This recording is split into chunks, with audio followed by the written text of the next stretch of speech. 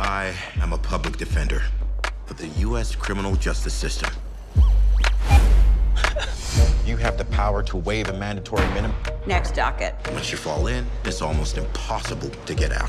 Tough week for you, champ. My client pleads not guilty, Your Honor. Get out. With all due respect. But what if you can beat the system at its own game? So this guy asked if I'd help him out. My buddy's car got jacked. You let me know it's there?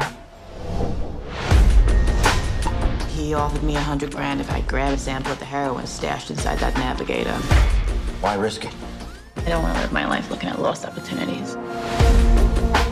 Let me pose this hypo. We could steal said monies without detection. I still wouldn't do it. Why not? Because it's wrong. I- It's wrong? It's, it's wrong. It's wrong? Think about what it can do.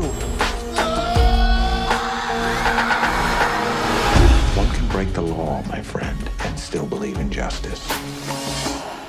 That isn't the first spliff you've had tonight, is it?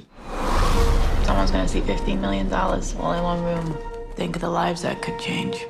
I'm in.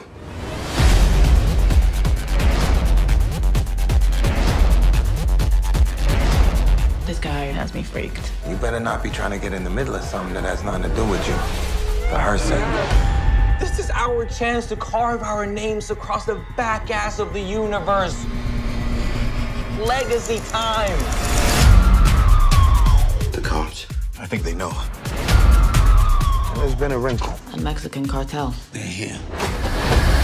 This is what I do. Busting my ass trying to level the playing field. Thought we said no guns. It's tear gas. Plus, it looks badass as shit.